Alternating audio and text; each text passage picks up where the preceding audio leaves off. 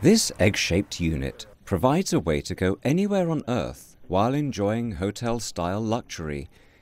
It's designed to take up minimal space while offering maximum storage room. Filozofia je veľmi jednoduchá, je to nezávislé bývanie v prírode. The philosophy of this object is very simple independent living in nature, something like the pioneers in America who used to go far away and live off the grid. This is free living without any permanent connection. The capsule is equipped with a sophisticated energy system, accessing wind and solar power when available and storing surplus capacity in batteries. Najväčšia výhoda je taká psychická, je to sloboda. že The main advantage of this type of living is freedom. You can live wherever you want. You don't have to pay bills for living, and you can stay amid nature. This capsule runs entirely on electrical energy. Above us is a wind turbine. On the roof, there are solar panels. These are the two electric energy sources which are fully sufficient for a whole year of the capsule's operation.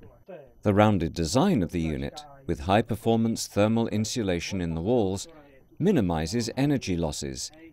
Meanwhile, the unit collects rainwater and morning dew, and membrane water filters installed in the sides are devised to remove 99.99% of bacteria and render any natural water source suitable for drinking.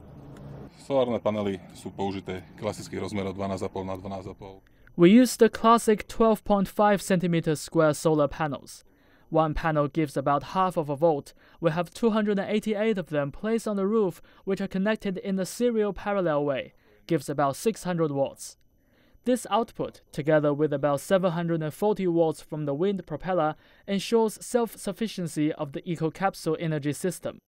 Sustainability is not the only selling point of the capsule. Fitting into a standard shipping container, it can also be transported globally with low shipping fees. For those who like the project but want to bring their cars along for the ride, the unit can be extended via additional undercarriage to become a fully functioning caravan. Abdiel Leroy, CCTV.